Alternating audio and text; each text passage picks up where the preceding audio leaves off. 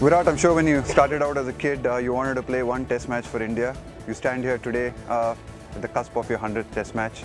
It's a testament to everything that's great in our sport sweat, discipline, courage, skill, determination, focus, desire. You've had it all.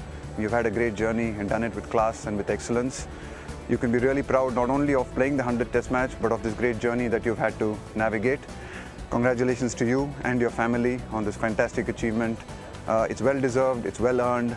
Hopefully, it's just the start of many more bigger things to come. And as we say in the dressing room, double it up. Thanks, Rahul. Thank you so much.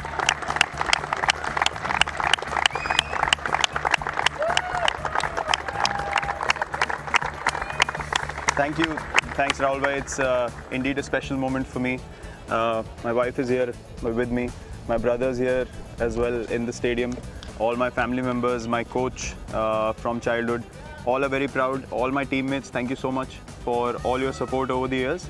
Um, it is indeed a team game, and uh, this journey couldn't have been possible without all of you, uh, those who played with me for a long period of time to the BCCI as well uh, for giving me the opportunity to represent uh, the Indian cricket team initially, and um, from there on, everything's just gone from strength to strength. The only thing I would say is, uh, um, in this day and age, in the present day cricket, with the amount of cricket we play, three formats and the IPL, the only takeaway if, if the next generation can uh, take from my test career is that I was I was able to strive through and play the purest format of the game and get to 100 test matches, which is uh, something that I'm very proud of.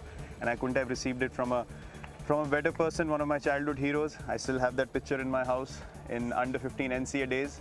I was looking at you, taking a picture with you, and today I get my 100 test cap from you.